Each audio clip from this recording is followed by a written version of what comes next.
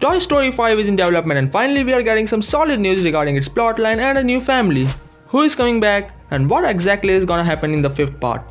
Let's know everything about the Toy Story 5. Bonnie, we'll be okay. Rumors were claiming the fact that we will be getting some new characters in the fifth part, while other reports were saying that we might be getting some new villains. But finally, the Hollywood sources like DisInsider, Collider, and even the New York Times has revealed a very exciting news about these new characters. So, according to these updates, we are gonna get a chance to watch the entire family of our Andy in Toy Story 5. I'm not talking about the Bonnie and others, I'm talking about the daughter and the wife of our Andy. Yes, I'm not joking. Now it has been confirmed that Disney and Pixar are moving forward to bring the daughter and wife of Andy in this franchise. According to the reports, Andy will return after becoming a very successful person in his field and will bring his family with him.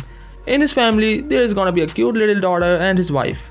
As per some other reports, we may get a chance to watch two babies of him, one daughter and one son. Now the plot further reads as he will be coming back with his family and Bonnie is now getting old. She is not enjoying these toys anymore and they are just trapped inside a box in Sawai.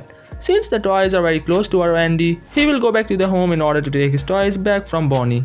In the exact same moment, we will get a chance to watch the kids of Andy, because he will be giving his toys to his kids. Meanwhile, the producers has already confirmed that both Woody and Buzz will return in the fifth part. It means that Woody is definitely gonna meet with other toys at some point in the movie. Now as per the reports, it will be revealed to Andy that Woody is missing. So he will again go back to his old home in order to search Woody. So this is gonna be the exact same moment where the toys will begin their journey in search of Woody. Because they wanna tell him that his Andy is back and now he can make a comeback with Bo Peep. So the movie may revolve around the journey of both our toys, Woody and Andy. However, the studio may change the story a little bit, but as per now, it has been confirmed that Pixar will definitely introduce the family of our Andy for sure. Doesn't matter how much they modify the storyline. By the way, I knew that it was coming and if you watched my video then you too knows that I revealed this exact same thing way before the official confirmation. Anyways, we were all worried about the plot of Toy Story 5 because to be honest, the ending of 4th part was really very perfect. However, thanks to Disney and Pixar for bringing a whole new theme in this franchise, which is now creating a whole new plotline for the future of Toy Story. By bringing back the family of Andy, I'm sure that Toy Story 5 is gonna be worth it. Talking about the release date, then luckily the studio has revealed a release window for it. As per the reports of Pixar, the studio is looking forward to release Toy Story 5 in the June of 2025. And why not? They are releasing their Inside Out 2 in the June of 2024.